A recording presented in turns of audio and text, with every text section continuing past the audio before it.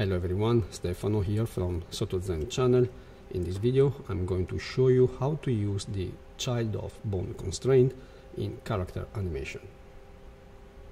And before we start I would like to apologize for a couple of things. The first one is you probably will hear a constant background little noise and that's my heater my pellet heater because here I'm on winter mode I hope that it will not too bad.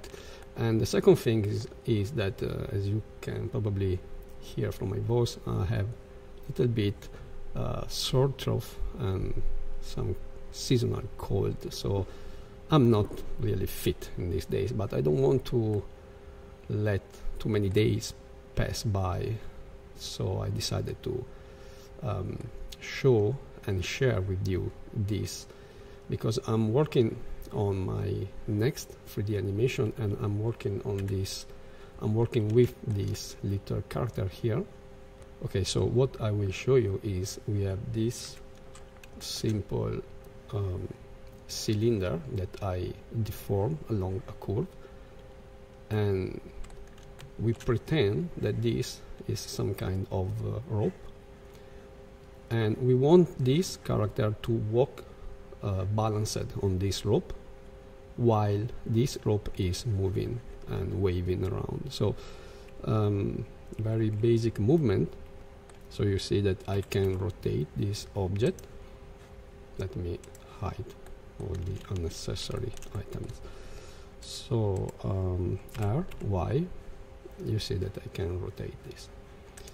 And before we start what we have here is this character. And this I rigged with the uh, Rigify inside Blender. We have basic and uh, default control that you get from the rigging process. So I won't go deep into this process. If you uh, want to learn something about this uh, part. You can search for um, a couple of videos that I made uh, regarding the rigging uh, process in Blender. So what we want to do here is we want to have this fit to follow in this case this. And of course I can try to animate first the rope and then I can try to animate these two fit controllers but it will be a nightmare. It will be very very unfriendly. Uh, instead an easy way that we can do is to let's try to position this in some sort of balanced position I will do this very very quickly. So I, I am not um, looking too much into details but something like this. When you are balancing you want to have your heel this part of the foot because it is where the body the body weight falls. So you want probably to stay in some position like this. We can also prepare some sort of basic balanced position. We can rise up this hand here and I can control C and control shift V to copy and paste the same position on the opposite side. Let me also rise a little bit the shoulder. And control C control shift V. Oh let me also turn on the screencast. I always forgot this thing sorry. So you can now see here what I'm pressing. Okay so here we are. And we have our character in position. But now if I rotate uh, the rope of course it is not following. So let's fix this. Let's go back to pose mode. And by the way I am using the pie menu pressing the tab and I have the pose mode under here. So what we need now is some powerful constraint that allow us to have a parenting relationship between the controlling object of our armature and some scene object like in this case our rope.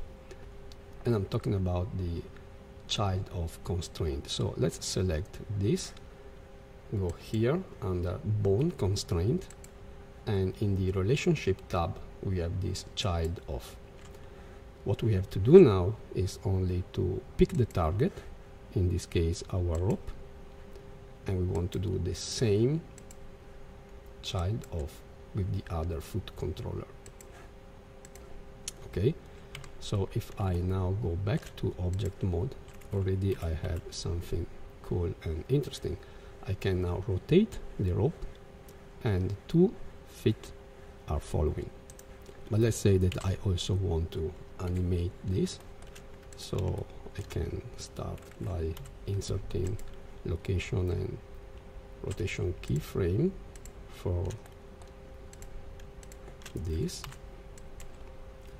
and six frame ahead. Let me prepare to move the body and then one two three four frame later. I want this to rise up. And this one you can see I can move. And I want this to go outside. And this little bit balancing on the other leg probably so let's insert another rotation and location keyframe. And then one two three four. This is still going a little bit up. And probably this one is preparing to reach again for the rope okay probably little bit this I don't know. I'm doing this very quickly so don't take this as an animation tutorial. And then one two three frames ahead. I want this foot to reach the uh, the rope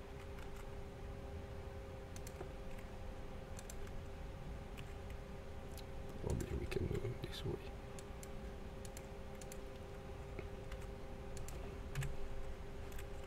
and let's balance back the body a little bit.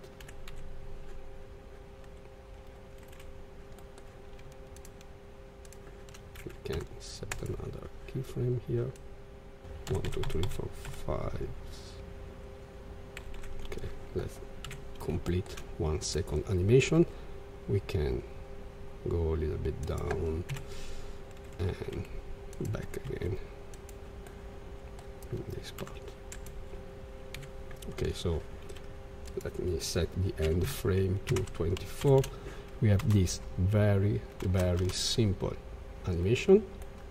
And if we go back to object mode I can select I can select the uh, rope object. And I can rotate and simulate some wind movement while my animation is still working and following the rope.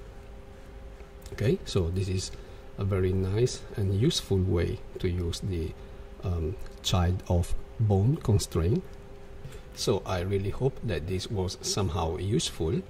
And if so please leave a like or a comment with any kind of request you may have uh, regarding 3D animation. I will try my best to answer to you as soon as I can. Follow me also on my main YouTube channel SottoZen. Visit my Patreon page. Special thanks to my patrons for their kind support And as always, thanks so much for watching and see you here very soon with another great video. Ciao!